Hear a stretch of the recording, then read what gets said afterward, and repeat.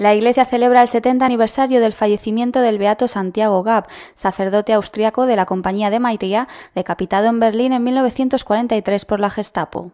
El sacerdote, amenazado por sus contundentes críticas contra el racismo de Hilder, huyó de su país perseguido por la Gestapo en 1939.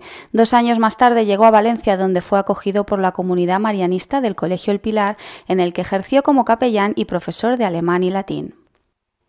Tal y como señala el sacerdote marianista José María Salaberry, autor de la biografía Santiago Gap, Pasión por la Verdad frente al nazismo, el sacerdote austriaco ya en Valencia recibió la visita de dos jóvenes alemanes que se hicieron pasar por judíos perseguidos por los nazis.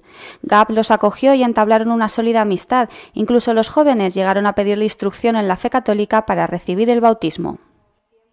Días antes de la fecha prevista para el sacramento del bautismo, Gap fue invitado por los dos amigos a viajar a San Sebastián y desde allí, mediante engaños, le hicieron pasar a Endaya, en Francia, donde fue apresado por la Gestapo, la policía secreta alemana a la que realmente pertenecían los dos falsos judíos. Y al final hacía buen tiempo, 10 de, noviembre, el veranillo San Martín. Dice, mira, podemos dar un paseo. Pasamos a Endaya, lo volvemos pues nada, pasan en Daya, ocupada por los alemanes, y en ese momento le dicen, oyes, Gestapo, tal. Y eso que me dicen, nos dijeron que un guardia civil en la frontera dijo que no pasara.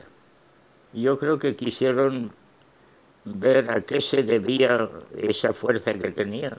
Y sabemos que Himmler dijo, si tuviéramos un millón de personas como Santiago Gap con el convencimiento, pero de los nuestros, vencíamos al mundo. Santiago Gap fue beatificado el 24 de noviembre de 1996 por Juan Pablo II, quien dispuso su festividad litúrgica el 13 de agosto, día de su martirio.